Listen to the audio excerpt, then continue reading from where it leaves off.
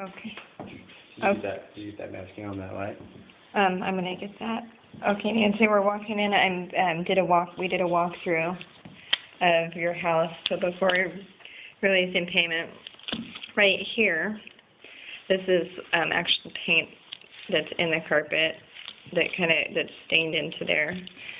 And then, uh, this is the drywall patch to the bedroom, um, on the right-hand side. Um, as far as the paint, you know, as this is how they've left it. They should have left it cleaner for one thing. The other thing is, is as you can see, um, on the baseboard, there is paint splotches and, um, you know, some drywall and the carpet. So I'm going to go kind of slow so you can kind of see what I'm seeing here. This is, so this is along the whole baseboard here. There we go. The roof looks great. They've done a great job roofing, but I'm concerned as far as the drywall, um, that it wasn't done, um, correctly here. So up above, this is the actual patch, and I'm gonna kind of step back. But you can see it's like a perfect square. Now, if you were somebody coming in who's interested in either purchasing or renting the house, um, it definitely looks like something happened. It doesn't blend. You can tell there was a problem there. So it should actually blend. You shouldn't be able to tell that there is an actual patch. So um, for the cost that they were charging you for that.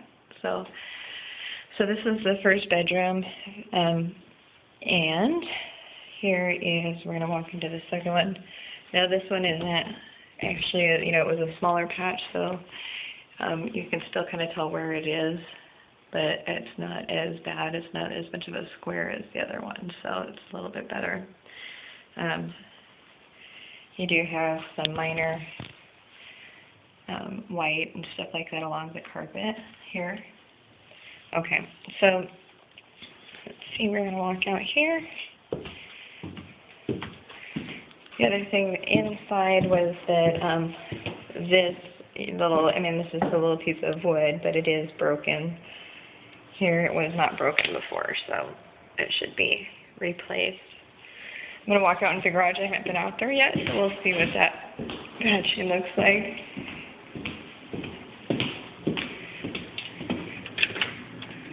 Okay, so the patching in the garage, where is that?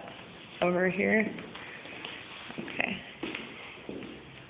So there is paint on the garage floor. Obviously, it's not as big a deal since it's a garage, but um, they didn't take a lot of care as far as doing the work there. So again, you can see the patching